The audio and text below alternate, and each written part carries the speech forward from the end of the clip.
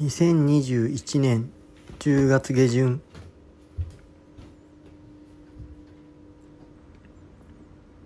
今日東京の正午の気温は12月中旬並みの寒さになった。体調を崩さないように気をつけたい。体が温まるものを食べようと思った僕は近所のスーパーで小さな鍋を買ってきた。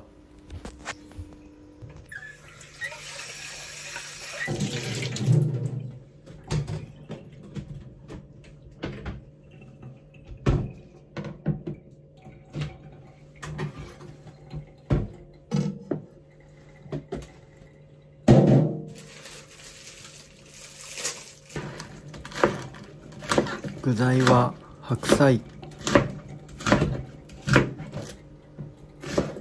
ネギ。油揚げ。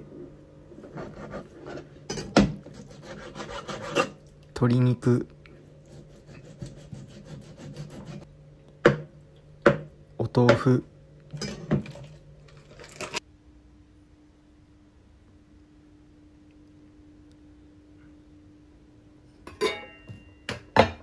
つゆは簡単にめんつゆのみ。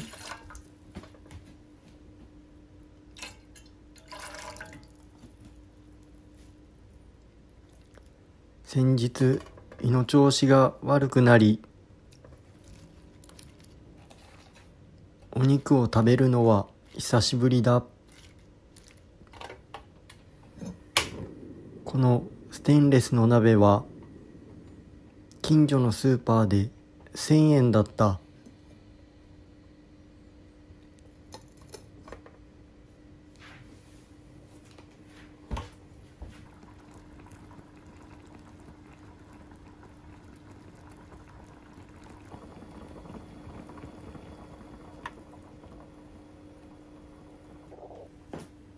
一つ報告です。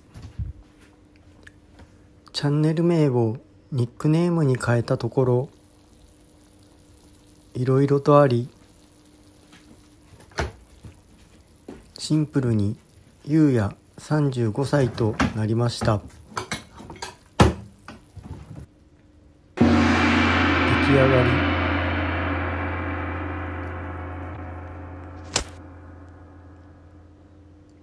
いただきます。後から調べたところ春菊や小松菜を入れるとビタミンの補給量がぐっとアップしていいらしい。次から入れてみよう。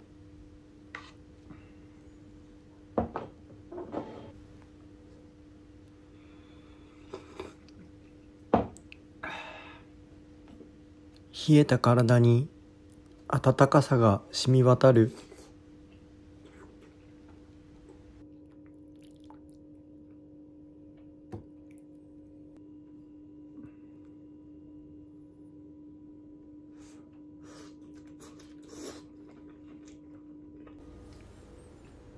今年もあっという間に過ぎていく。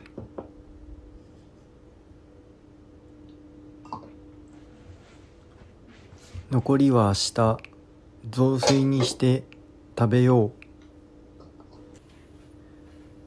一時は1718万円まで下がった給料も少しずつ回復している。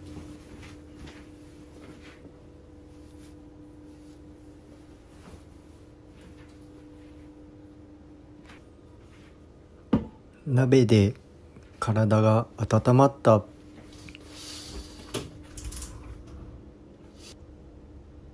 ひんやりとした空気が気持ちいい。